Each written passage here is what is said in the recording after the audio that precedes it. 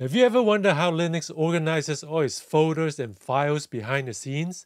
In the early days, it was pure chaos, with every distribution implementing its own structure.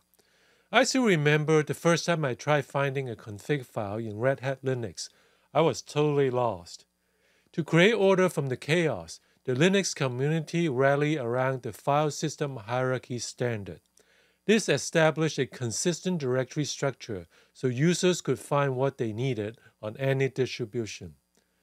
But does every distro follow it exactly? Not always. Some add custom tweaks for their specific needs. Understanding where critical system files, configurations, and binaries live allow us to navigate any Linux environment and harness its full power. Let's explore the key directories at the heart of the Linux file system. First, the homes for executable binaries. The layout of directories like bin, sbin, user local bin, and their sbin counterparts follows a convention. Bin contains core OS programs that must be accessible before user get mounted at boot. For example, the commands mount, ls, cd, live here. User bin is a primary home for binaries not part of the base OS itself. Most user programs live here. Fun fact user stands for Unix System Resources, not user. User local bin hosts executables installed by the admin, usually after building them from source. This keeps local compiles separate to avoid overriding system binaries. The sbin directories follow a similar pattern, but house sysadmin utilities that require root access like iptable and sshd. When the same binary exists in multiple directories, you can specify the default by reordering the directory precedence in a path variable. lib contains shared library files essential for bin and sbin binaries to function properly. These libraries need to be accessible early in the boot process before mounting user. They provide core functionality like C library routines and compiler runtimes. UserLib hosts libraries for user binaries that are critical for early system initialization. This includes UI libraries for GTK and Qt, as well as language runtimes like Python. You can also tweak the library search order via LD library path. Now on to Etsy, the home of Linux configuration files.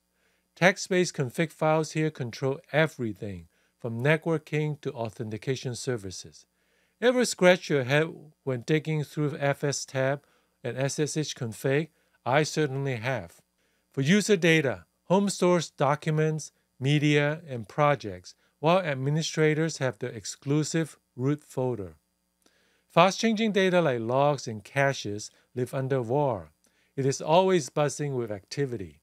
We care about Varlog in particular to inspect hardware events, security issues, or performance problems.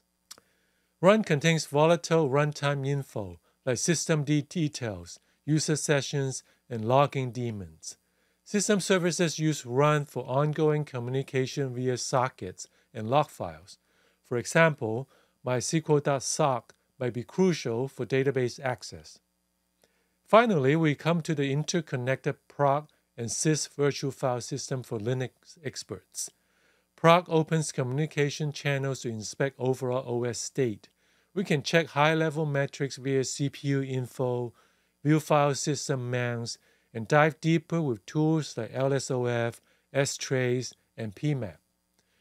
Sys exposes lower-level kernel and hardware objects, allowing granular monitoring and configuration of components like devices, modules, network stacks, all via virtual files.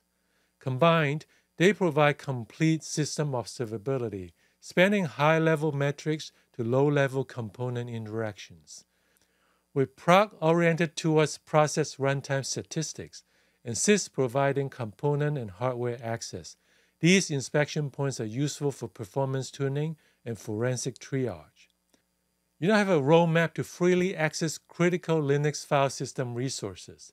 Armed with this knowledge, you're ready to take full command. How about we get some hands on practice? you like our videos, you might like our system design newsletter as well. It covers topics and trends in large scale system design, trusted by 500,000 readers. Subscribe at blog.bytebytego.com.